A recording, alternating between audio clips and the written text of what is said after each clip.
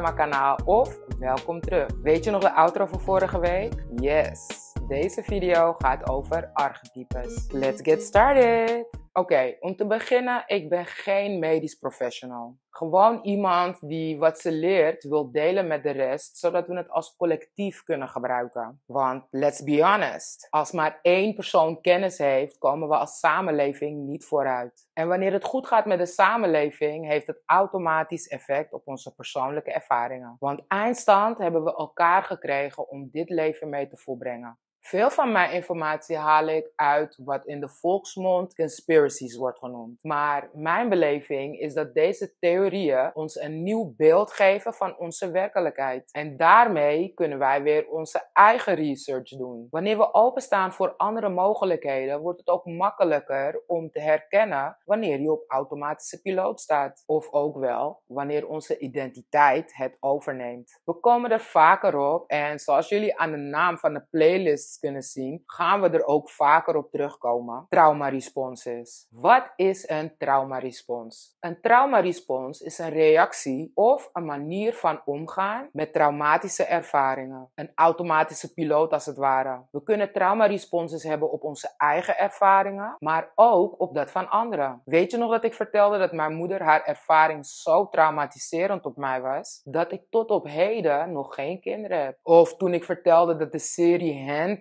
Tale zoveel effect op me had, dat ik mezelf echt eventjes moest terugroepen. Want wat Offred meemaakte, dat was niet mijn werkelijkheid. Dit waren ervaringen van anderen waar ik een traumarespons op kreeg. Wat we consumeren heeft super veel effect op ons. En dan heb ik het nu niet over wat we eten en drinken. Ik heb het over wat we zien en wat we horen. Afhankelijk van hoe emotioneel betrokken we raken bij de afgebeelde personages, kunnen wij ons gaan identificeren met hun ervaring. Wat ik met Offred had bijvoorbeeld. Aan het hand van die identificatie kan het zijn dat wij een traumarespons geven. Wanneer wij het gevoel hebben in een soortgelijke situatie te zitten. Snap je waarom ik mezelf moest zeggen dat ik geen Offred was? Ik denk niet dat ik een fantastische ervaring zou hebben in mijn werkelijke wereld als ik het archetype van Offred over zou nemen. Dat is Alfred, het archetype of personage dat Elizabeth Moss fantastisch neergezet heeft. Wat is een archetype nou precies? Toen ik het in het Nederlands opzocht, stond er dat de oorsprong oud-Grieks is. En dat het het origineel patroon betreft, waarvan alle andere soortgelijke personen, objecten of concepten afgeleid zijn. Hebben jullie wel eens van die Griekse godinnen gehoord? Vast wel. Aphrodite, Athena, Artemis. Of de Egyptische goden zoals Ra en Osiris en Isis. Toen ik jonger was, had je wel eens van die quizjes waarmee je kon bepalen welke godin jouw archetype was. Voor mijn geluk kreeg ik altijd een saaie archetype. Iets met wat ik me absoluut niet wou identificeren. Iets saais met veel lezen en een sterk analytisch vermogen. Eigenlijk een beetje mijn huidige werkelijkheid. Maar toen ik jonger was, wou ik graag Afrodite zijn. Net als meeste jonge meisjes, denk ik. Maar helaas, uiteindelijk gelukkig was het niets voor mij.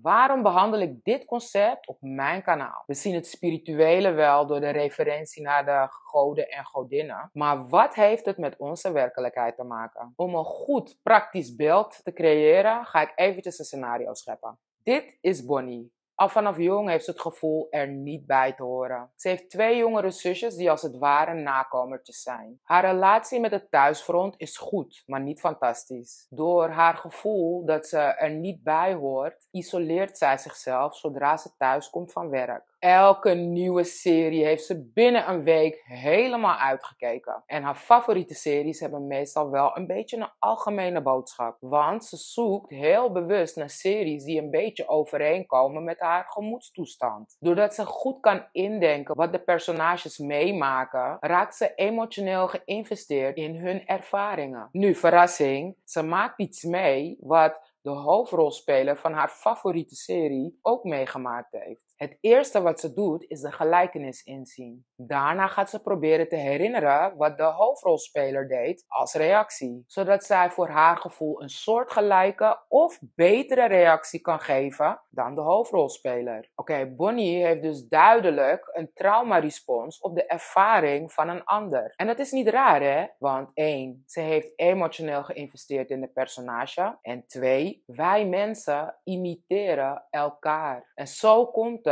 dat we dus af en toe reageren op bepaalde situaties op een ongepaste manier, omdat wij een personage nadoen. Ik hoop dat je aan de hand van dit voorbeeld kan inzien dat archetypes zich niet alleen beperkt tot goden en godinnen. Wanneer we ons emotioneel gaan identificeren met personages uit films en series of influencers of andere celebrities, is de kans groot dat wij hun onbewust gaan imiteren. En dan bedoel ik wanneer we zeggen: Oh, ik ben zo'n fan van die persoon. En dat we dan alles tot de laatste keer dat ze naar de wc zijn gegaan, helemaal gaan bijhouden en gaan bespreken met anderen. En dit geldt niet alleen voor goede eigenschappen. Wij gebruiken onze idolen als archetypen, want zij zijn het prototype. Maar wat hè, als ik nou zeg dat wij allemaal de archetypen van onszelf zijn? Heb je nooit gehad dat kleine kinderen naar je toe kwamen en zeggen: Ik wil later net als jou zijn? Dat is omdat voor de jongere generatie zijn wij, de volwassenen, het prototype. De persoon die we elke dag zijn en laten zien aan de buitenwereld is opgemaakt uit verschillende eigenschappen. En vaak zijn die eigenschappen gevormd door positieve of negatieve ervaringen. En het hoeven niet eens je eigen ervaringen te zijn. En dit alles heeft me aan het denken gezet. Hè? Wat zijn eigenschappen van de persoon, Davinia, die ik mezelf aangeleerd heb, maar niet meer bij mij horen? Nou, we weten allemaal in ieder geval één ding en dat is roken. Want ik was heel jong toen ik besloot dat ik wou gaan roken. Omdat het in mijn ogen volwassener was. 30 jaar later kost het me moeite om te stoppen, omdat ik niet meer vind dat het bij mijn identiteit hoort. Maar doordat ik mezelf heb aangeleerd dat het bij mijn persoonlijkheid hoort, ervaar ik veel mentale pushback cognitieve dissonantie. Oké, een ander voorbeeld van mezelf. Toen ik jonger was, hield ik ervan om gewaagde kleding te dragen. En dat bedoel ik niet hoe sommige dames er tegenwoordig bij lopen. Maar ik hield wel van decolleté en doorschijnende truitjes. Hoe ouder ik werd, hoe meer de aandacht die ik daardoor kreeg me begon te hinderen. Ik ben behoorlijk blessed in de borst department, wat over het algemeen veel meer nadelen heeft dan voordelen. Dus ik kreeg niet alleen ongewenst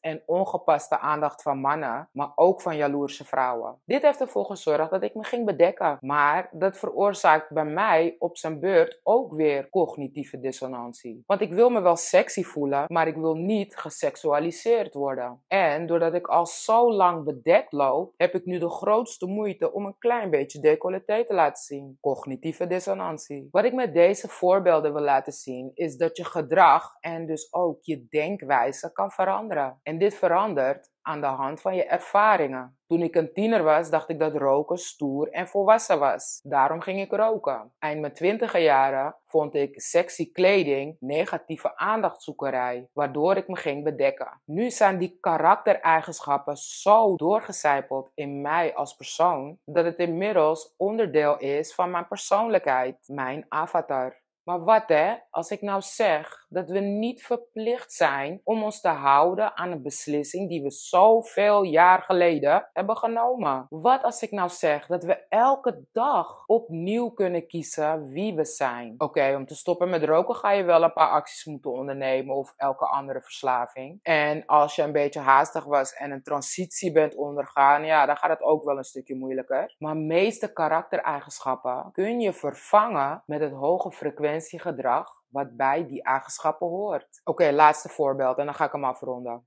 Dit voorbeeld komt uit mijn archetype Bijbel, de Jenkies. Ik heb een random pagina opengeslagen en natuurlijk komt het weer bij eentje die we al genoemd hebben, de 55ste gensleutel. Maar hiermee kan ik een heel goed voorbeeld geven van het lage en het hoge frequentiegedrag wat bij dat archetype hoort. Als je van alle archetypes de hoge en de lage frequenties wil weten, neem dan even een kijkje in mijn playlist Chakra Healing, want daar bespreek ik ze alle 64.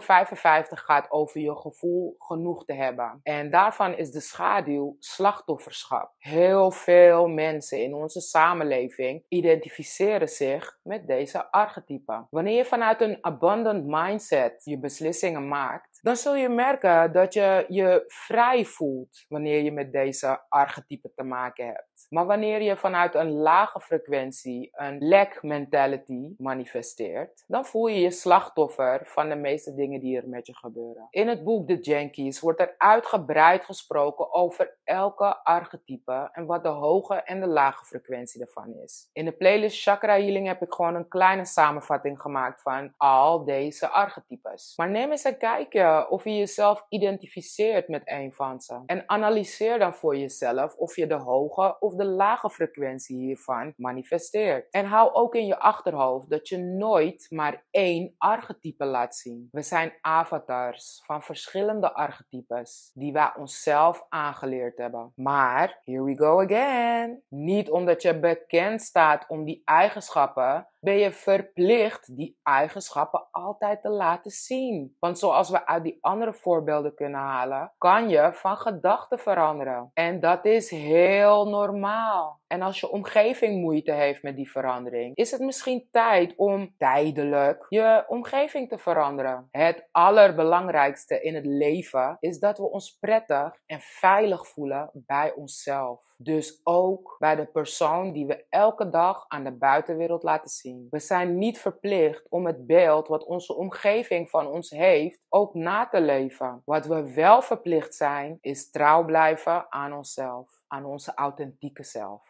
Zo kunnen we het beste voorbeeld zijn voor de volgende generatie. De rebels en innoveerders zijn die onze samenleving nodig heeft. En de beste lovers die onze partners verdienen. That's it guys. Bedankt voor het afkijken van de video. Wat is jouw ervaring met archetypes? En heb je er al een keertje over nagedacht dat we eigenlijk gewoon avatars van onszelf zijn? Ben je het eens of oneens met mijn kijk op dit onderwerp? Laat het me weten. Wil je het niet in de comments? Stuur me een mailtje informatie staat in de beschrijving. Ik ben nog eventjes aan het uitzoeken hoe ik die tarot-video's eh, moet gaan doen. Maar uh, ik heb laatst een gesprek gehad met Simply Mode. Die heeft ook een tarot-kanaal. Haar kanaal is in het Nederlands. In de tussentijd kunnen jullie misschien alvast bij haar een kijkje nemen. En die van mij die komen dan vanzelf. Want hoe meer Nederlandse content we hebben, hoe minder we onder invloed staan van wat er aan de andere kant van de zee gebeurt. Wat alweer een intro is naar mijn volgende video Ik word wel een beetje goed hierin. Want dan wil ik het hebben over demon worship. I know, ik had gezegd dat ik het er niet over zou hebben, maar things change. En zoals ik zelf zeg, we mogen elke dag van gedachten veranderen. Dus ik ook. En de ontwikkelingen binnen deze hype gaan zo hard dat voordat er in Nederland te veel poorten opengezet worden, we need to talk about it. Volg mij, Music Visionaire en Viviri Sunny op Instagram en help me nou met de 100 abonnees incentive, zodat ik de winnaars eindelijk blij kan maken met hun giveaway. Thanks guys, thanks voor jullie support. Ik zie jullie bij volgende video. Soso Lobby.